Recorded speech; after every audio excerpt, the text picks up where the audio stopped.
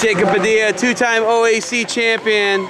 You won this year at 249 heavyweight. Did you win last year at 249 Yeah. heavyweight?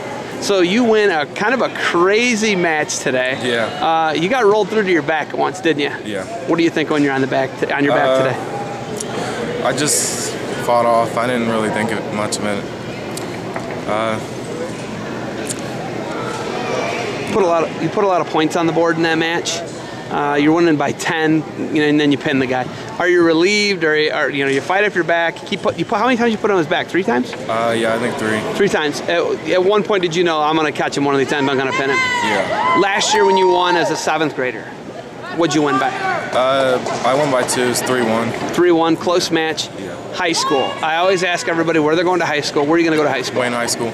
Wayne High School. Where is Wayne High Huber School? Heights, Wayne. Oh, Huber Heights, Wayne. Okay, so you're from the Dayton area. Yes, sir. Why Huber Heights, Wayne? There's all these private schools out there. You got Dayton Christian. They're in Division Three.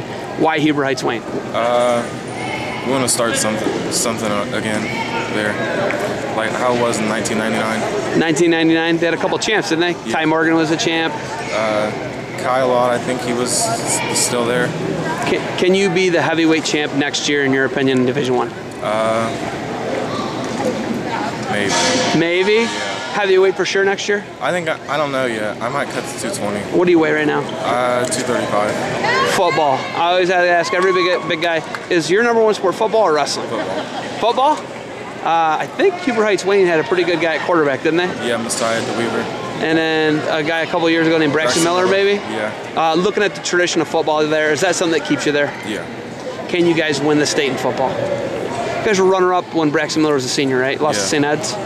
Are you looking forward to that? Two years in a row. in a row. Uh, yeah, we we've been in two years in a row now. So in the finals. Yeah. Where's your quarterback going? I don't even know. He went to Michigan State. Michigan State.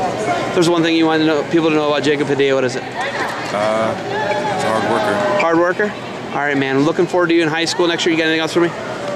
Congratulations on the title. Thank you.